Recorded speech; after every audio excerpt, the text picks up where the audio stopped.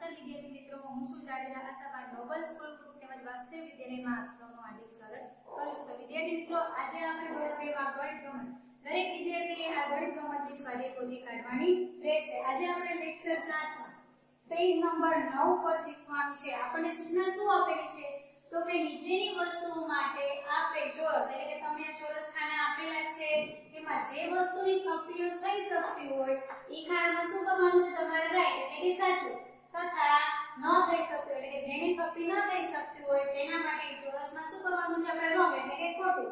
તો પેલા તો અહીંયા જો પેજ ઉપર દરેક અલગ અલગ ચિત્ર આપેલા છે. તો જેની થપ્પી થશે એમાં આપણે રાઈટ કરશું અને નહીં થાય એમાં આપણે રોંગ કરશું. તો તમારે પણ આ સ્વાધ્યાય પોથીમાં પેજ નંબર 9 મારી સાથે કરવાના રહેશે.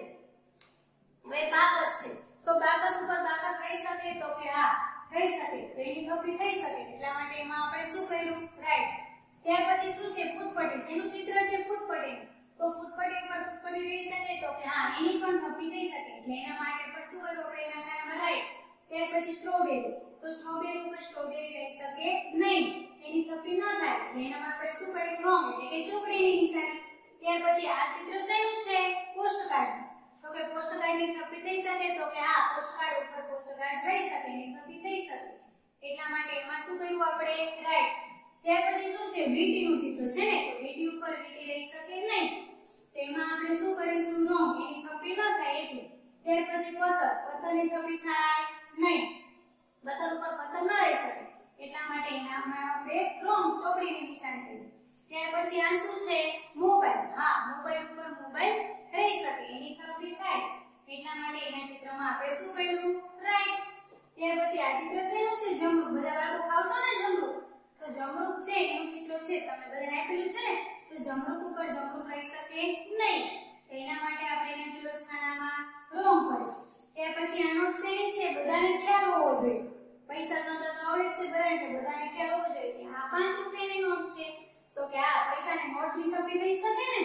તો કે પાંચ રૂપિયાની નોટ ઉપર 5 ની નોટ થઈ શકે, એની થપ્પી થઈ શકે, એટલા માટે એમાં રાઈટ. ત્યાર પછી આ ચિત્ર શેનું છે બાળકો? ફળ તમે ઓળખતો હોય તો તમને ખ્યાલ હોય કે આ ચિત્ર ચીકુનું છે. તો ચીકુ ઉપર ચીકુ રહી શકે નહીં. ચોરસ હોય તો જ રહે. ગોળ હોય પડી જાય.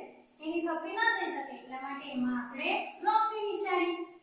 ત્યાર પછી આ સેમ સેમ ચિત્ર છે. તો કે રૂપિયાના સિક્કાનું તો કે સિક્કા ઉપર સિક્કો રહી શકે. તો કે હા.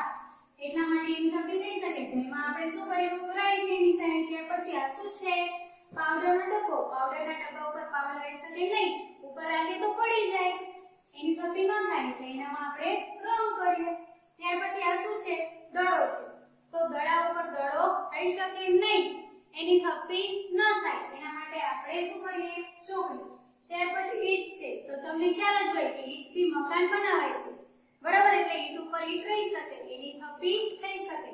એટલા માટે ઈટના ચિત્ર છે એના ચોરસ ખાનામાં આપણે રાઈટ કરીએ હવે છેલ્લું ચિત્ર શેનું છે? લખોટી. તો કે લખોટી ઉપર લખોટી રહી શકે નહીં, નો રહી શકે ને. તેમાં આપણે શું કરીશું? ચોકડી. તો આજે આપણે વિદ્યાર્થી મિત્રો શું સમજ્યા તો કે જે વસ્તુમાં થપ્પી થઈ શકે, એમાં આપણે રાઈટની નિશાની જેની થપ્પી ન થઈ શકે, એમાં આપણે શું કરશું? રોંગની તો આ તમારે સમજવાનું છે ને, એકવાર નોટમાં, મેં જેમ લખ્યું છે, એકવાર નોટમાં તમારે વ્યવસ્થિત હોમવર્કમાં લખવાનું અને પાકું કરવાનું રહેશે.